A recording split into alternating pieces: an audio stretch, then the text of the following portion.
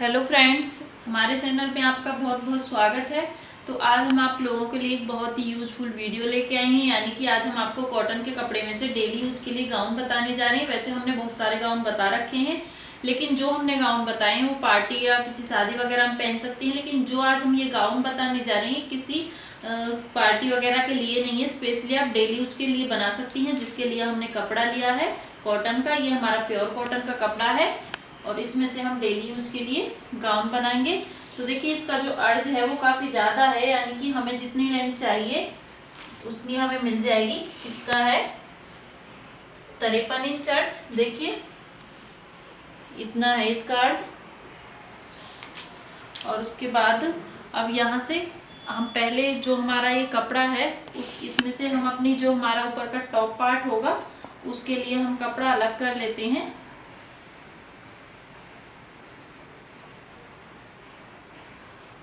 तरीके से कपड़े को पकड़े के, और ये तीन मीटर कपड़ा है, सॉरी मैं आपको ये बताना भूल गई, ये सिर्फ़ तीन मीटर कपड़ा है, तीन मीटर कपड़े में से ही मैं अपने लिए बहुत ही प्यारा एक गाउन बताऊँगी, बनाऊँगी। तो जिसके लिए हम पहले कपड़ा इसमें से ऊपर के टॉप पार्ट के लिए 16 इंच कपड़ा अलग कट कर लेंगे। तो देखिए, हमने ये कपड़ा उसमें से अलग कर लिया है।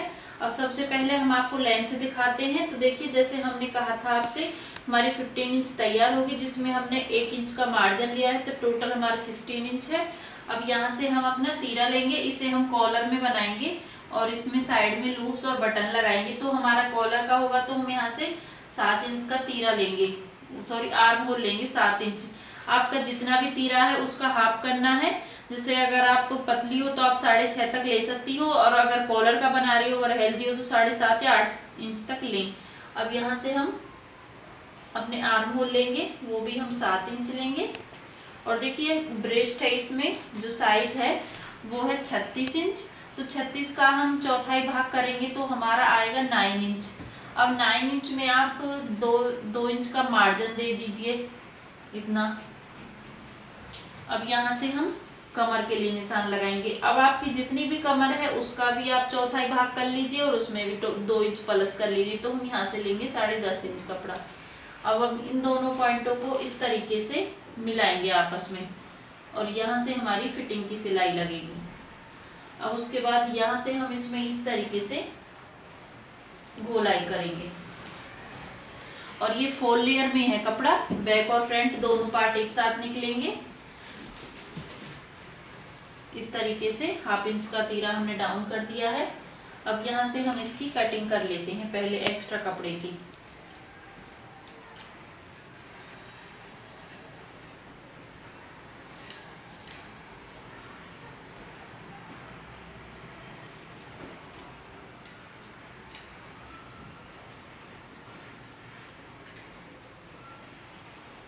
यहाँ से तीरा डाउन करेंगे।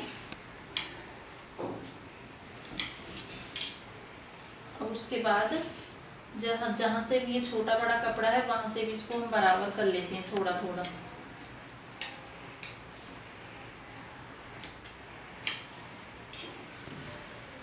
अब देखिए हमारा खुल के इस तरीके से आया है। अब हम इसमें से एक पार्ट हटा देंगे और दूसरे पार्ट की कटिंग कर लेंगे, आर्म होल की भी और गले की भी। तो जैसे हमने अभी आपको बताया कि इसमें हम कॉलर नेक बनाने जा रहे हैं तो कॉलर नेक के लिए हम यहाँ से ढाई इंच पे निशान लगाएँगे गले की चौड़ाई के लिए। और जो गले की गहराई लेंगे, वो हम तीन इंच से एक पॉइंट कम लेंगे, आप तीन इंच तक ले सकते हो। अब यहाँ से हम ढाई इंच पे निशान लगा के इस तरीके से मिला के और ऐसे राउंड शेप देंगे। ये सिर्फ़ हमें फ्रंट पार्ट में देनी है। इसको हम इस तरीके से कट कर देंगे। और फ्रंट से भी से ओपन करेंगे।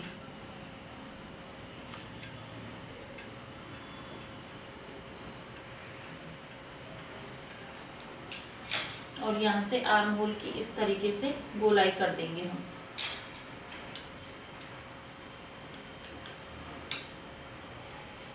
अब ये हमारा फ्रंट पार्ट कट चुका है। अब जो हमारा बाकी का कपड़ा बचा है, इसको बिछाएँगे हम।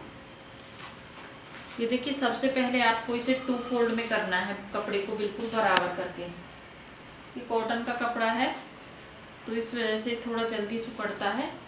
अभी देखिए, हमने इसको टू फोल्ड में बिछाया, ठीक है?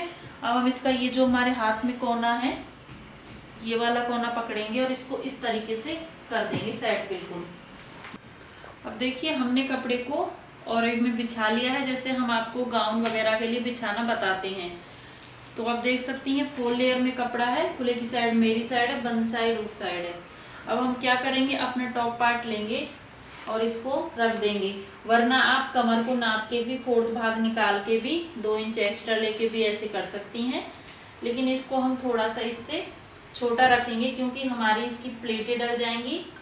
तो फिर कपड़ा कम रह जाएगा चोली का तो इस वजह से हम इसे करीबन डेढ़ इंच कम लेंगे यहाँ से।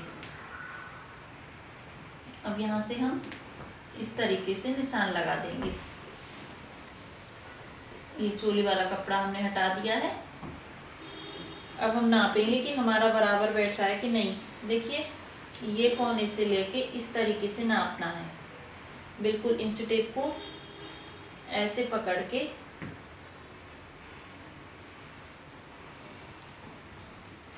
तो यहाँ से हमारा थोड़ा सा ज़्यादा है। इस तरीके से। अब इससे नीचे हम अपनी लेंथ लेंगे। जितनी भी हमारे पास अब लेंथ होगी, हम वो पूरी ले लेंगे, क्योंकि हमें नीचे कपड़ा फोल्ड भी करना है। तो देखिए, हमारे पास ये फोर्टी वन इंच है। इतनी है ये। फोर्टी वन इंच तो हम ये पूरी ले लेंगे। और यहाँ पे हम ऐसे ही निशान लगाएँगे, देखिए। यानी कि पूरे घेरे में हम इसी तरीके से निशान लगा लेंगे फोर्टी वन इंच तक ये निशान लगा के तैयार करेंगे।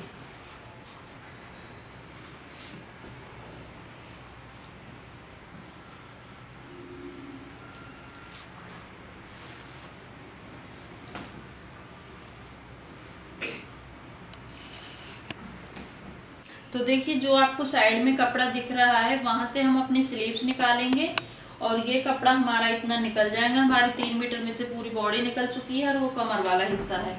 अब यहाँ से हम बिल्कुल अपने इन चारों पीसों को पकड़ के और इसकी सेम तरीके से कटिंग कर देंगे।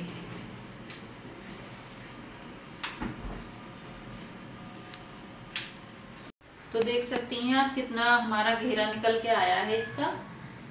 और जो हमारा ये गाउन है, वो हमारा फुल घेर का बन के तैयार होगा। ये देखिए।